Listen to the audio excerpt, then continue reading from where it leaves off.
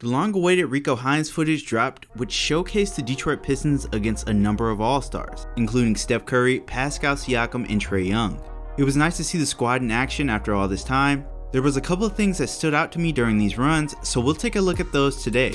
Number one has to be Kevin Knox getting buckets. I legit thought this guy was a sign and trade piece, but after that, I gotta put some respect on his name. Knox didn't do anything with the Hawks and Knicks, but in his first run with the Pistons, this was a good impression. I've said this previously, but the rotation this year is going to be tough to sort out. We have so many players who could argue for minutes. Another thing I noticed were the lineup choices. I'm most likely reading too much into this, but still, it should be noted. The first lineup was Killian, Cade, Bey, Knox, and Duren. From the looks of things, the Killa Cade experiment is still ongoing. We will see these two on the floor a lot since they can both play small forward, so it makes sense for them to keep that chemistry going. There's also the possibility of the Pistons not wanting to show off the Cade Ivey backcourt before the season begins. Second lineup was Joseph, Ivey, Diallo, Bagley, and Stewart. As we see here, Kojo is leading the way. When he was on the bench unit last year, that group was outplaying the starters. We see that here again as this lineup had the most success at the Rico runs. Seeing Ivey and Diallo sharing the floor was interesting as both do similar things. What made it work was the outside shooting of Stu.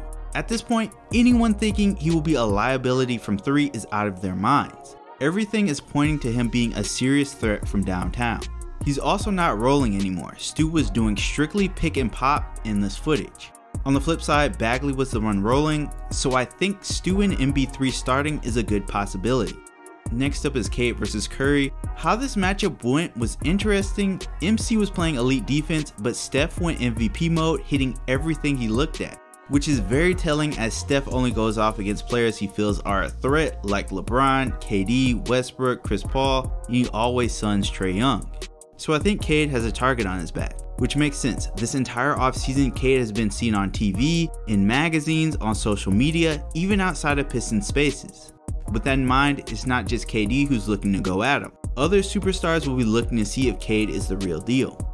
That leads us to Jalen Duren, who we've seen guarding Steph Curry and Trae Young. Duren was able to move his feet and stay in front of both Curry and Trae.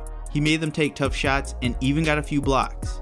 Duren being able to keep up with some of the fastest guards in the league in his first matchup against them is impressive. Stu was able to put the clamps on Trae last year, so we have two Trae Young stoppers on the squad. This is great news because we faced the Hawks three times before Christmas. Biggest takeaway from this is that most of the squad was at the scrimmage. Even though there's no footage of them, Livers and Key were also there. Everyone on the Pistons can say the welcome to Detroit hook with their chest. The Pistons training camp and preseason is going to have some battles. A roster spot needs to be cleared, plus the rotation has to be sorted out. No matter who's in the 10 man lineup, I just hope it leads to success. It would be devastating for a young team to put in this much work for an entire summer and still get destroyed during the season. So winning is the only option this year. And that wraps up this video. The offseason has been a success thus far, We've seen signs of improvement across the board. Next month, we will see the results of all that hard work. Alright guys, if you enjoyed this video, hit that like button and subscribe to see more Pistons content. That's it from me. Thanks for watching, and I'll catch you all in the next one.